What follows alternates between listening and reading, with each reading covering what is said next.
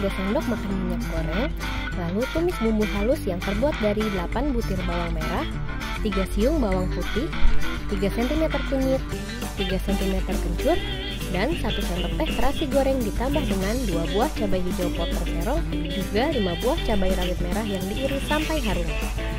Sisihkan bumbu di pinggir wajan. Lalu, masukkan 3 butir telur yang dikocok lepas. Aduk sampai berbutir kasar. Masukkan 100 gram ikan jambal yang sudah dipotong kecil dan digoreng sampai matang.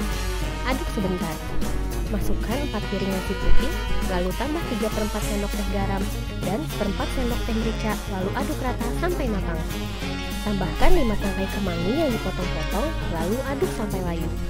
Sajikan nasi goreng kencur bersama 100 gram kerupuk kanji dan 2 sendok makan bawang merah aren.